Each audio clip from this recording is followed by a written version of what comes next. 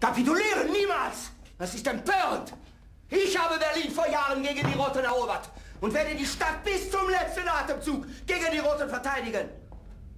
Die wenigen Stunden, die ich noch als deutscher Reichskanzler zu leben habe, werde ich nicht dazu benutzen, meine Unterschrift unter eine Kapitulationsurkunde zu setzen. Wir müssen die Zivilbevölkerung schützen. Befehl ist un umständlich. Egal, was passiert, wir werden müssen Verhandlungen aufnehmen.